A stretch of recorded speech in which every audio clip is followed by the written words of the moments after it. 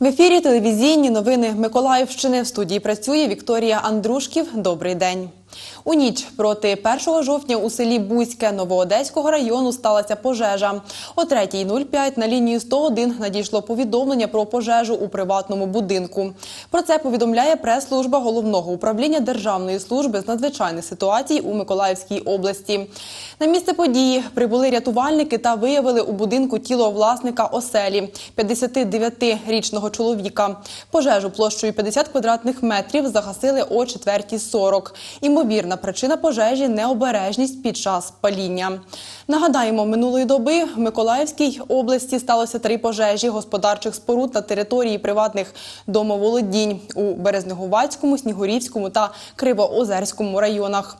У двох, у двох е, випадках причина займання встановлюється у селі ж Лук'янівка Кривоозерського району. Горіння спричинило необережне поводження з вогнем. 30 вересня о 12.30 на вулиці Соборній захисники тварин, волонтери та жителі міста пройшли маршем за права тварин. Вийди за мене. Організований захід всеукраїнським гуманістичним рухом, який бореться за права тварин е, UA Animals.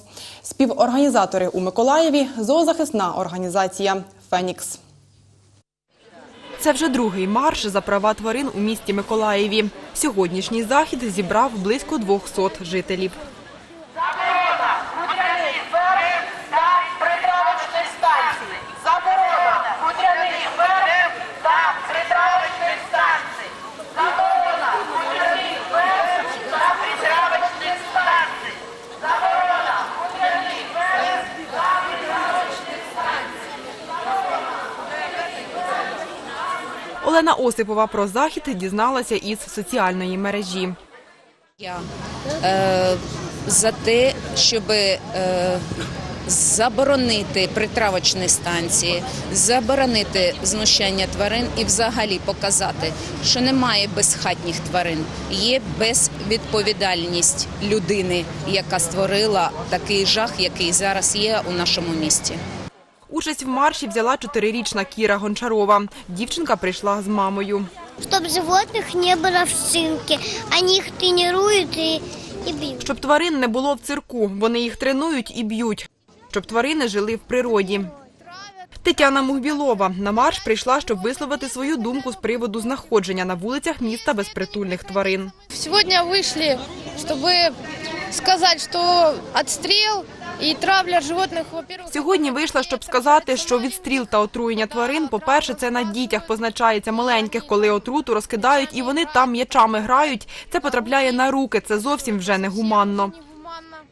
Голова зоозахисної громадської організації Фенікс Олена Бардан розповідає про мету заходу. Заборона використання тварин у цирках та дельфінаріях в першу чергу обов'язково. Також це заборона хутряних ферм, тобто ми проти того, щоб е, хутряні ферми існували як такі взагалі. Також це заборона контактних зоопарків, де є жорстоке поводження з тваринами, тому що на превеликий жаль вони не мають певних е, умов, які необхідні для тих тварин, що там перебувають.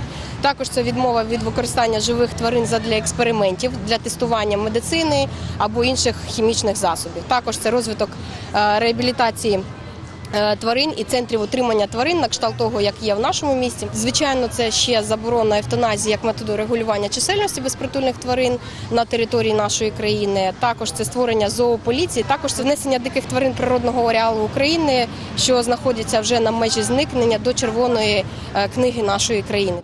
Учасники маршу пройшли вулицею Соборною з плакатами та блакитно-жовтими кульками, скандуючи гасла до Соборної площі. О 13.00 організатори ще раз нагадали учасникам маршу про ціль заходу. Евтаназія як метод регулювання не дасть результатів. Ми знаємо приклади таких випадків. Ми знаємо, які міста працюють по цій схемі, і це не дає результату. Тому ми ще раз зазначаємо, що ми проти евтаназії як методу регулювання чисельності. Вікторія Андрушків, Юлія Кускова, телевізійні новини Миколаївщини. Сьогодні, 1 жовтня, водопровідна мережа проводить аварійно-ремонтні роботи, в зв'язку з чим очікується відключення водопостачання на вулицях Адміральська і Артилерійська. Про це повідомили в міському комунальному підприємстві Миколаївводоканал. Відзначається, що воду відключать з 9 до 15.00 в районі від вулиці Артилерійська до вулиці Інженерної.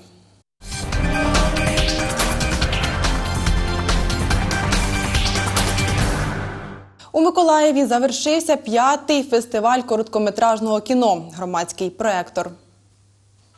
Церемонія нагородження переможців кінофестивалю відбулась у Миколаївському академічному художньому російському драматичному театрі. Премію Миколаївського міського голови отримав фільм Три лати і круасани. Режисер Артемій Кірсанов, Сергій Дзюба, місто Київ. Премію голови Миколаївської облдержадміністрації Гамбіт, режисер Андрій Снісарчук і Роман Мартин. Львів. У номінації Регіональне кіно переміг фільм Сильні духом. Режисер В'ячеслав Бігун, місто Тячів Закарпатської області. Кращий зарубіжний фільм Зворотній відлік. Режисер Катерина Меркулова, Москва. У номінації Документальне кіно третє місце зайняв фільм Щасливі роки. Режисер Світлана Шимко та Галина Ярманова, місто Київ. Друге місце Мій друг Дон Кіхот. Режисер Станіслава Доронченко, місто Київ. Перше місце фільм Сильні духом. Режисер В'ячеслав Бігун, місто Тячів Закарпатської області. У номінації Ігрове кіно місця розподілились так: третє місце фільм Цвяхи. Режисер Ахмет Ернес Серехаліл, місто Київ. Друге місце Чернець. Режисер Олександр Даниленко, Нью-Йорк. Перше місце фільм На своїй землі. Режисер Олександр Кирієнко, місто Київ. У номінації Глядацькі симпатії перемогу здобув фільм Сеанс режисера Олексія Тараненко, місто Дніпро. Нагадаємо, протягом двох днів, 28 та 29 вересня, у Миколаєві тривав фестиваль документального кіно Громадський проєктор. Свої стрічки продемонстрували 18 режисерів з України, Білорусі, Америки та Росії в номінаціях Ігрове та документальне кіно.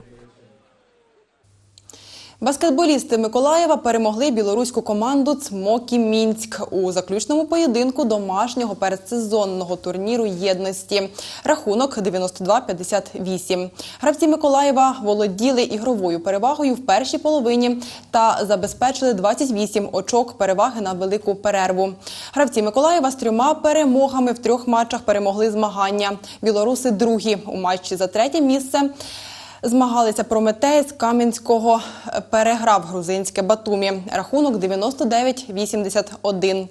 І на цю годину це всі новини. Наступний випуск чекайте вже о 17.00. Ведуча випуску Наталія Забазнова. А я з вами прощаюся і бажаю вам гарного дня.